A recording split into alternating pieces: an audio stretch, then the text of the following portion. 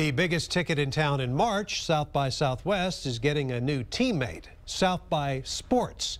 It'll be three days of sports-focused events and panelists geared towards the interactive and film lineup with storytelling and sports. Running from March 7th through the 9th, there are already some interesting names added to the panel lineup, including author, web editor, and NBA analyst for ESPN, Bill Simmons, sports writer and statistician Nate Silver of 538, Peter Guber, chairman of Mandalay Sports Media and part owner of the Los Angeles Dodgers, and from Lubbock, Texas Tech head football coach Cliff Kingsbury. Chronicling the changing face of this event, this mini sports conference will be another extension of South by's transformation. Only starting in March of 2011, South by Southwest Education, 4,500 registrants were part of that conference last year. And that even brought out a keynote address by Bill Gates, who spoke about technology and learning. Next year's event will be March 3 through 6 and will kick off the South by festivities.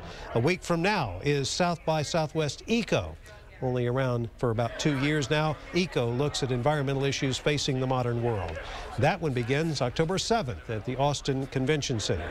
And this summer, South by actually went on the road establishing V2V. It's a conference in Las Vegas geared towards entrepreneurs. Originally, this event started in 1987 as a way to get bands noticed to the entire music industry. Starting with 700 acts, organizers last year had more than 2,200 showcasing acts.